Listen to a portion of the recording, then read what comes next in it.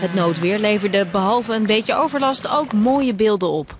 Maar vanochtend bleek het voor de meeste mensen toch een kort nachtje geweest te zijn.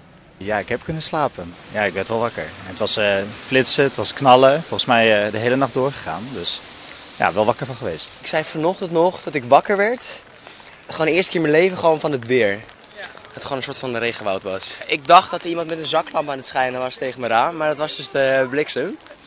Maar ik vind het best heftig vandaag, ja. En ik lag in bed en ik hoorde zoveel regen vallen dat ik dacht... Uh gaat het wel goed, maar vandaag nog steeds. Bewoners aan de Westerdoksgracht moesten vanochtend bijna zwemmend naar hun auto. En bij de Amstelveense weg kon je ook beter een omweg nemen met de fiets.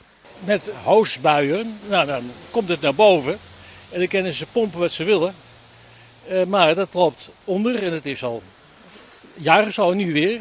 Daar kan misschien wel wat aan gedaan worden. Maar verder, op een aantal ondergelopen kelders na, bleef de overlast gelukkig beperkt.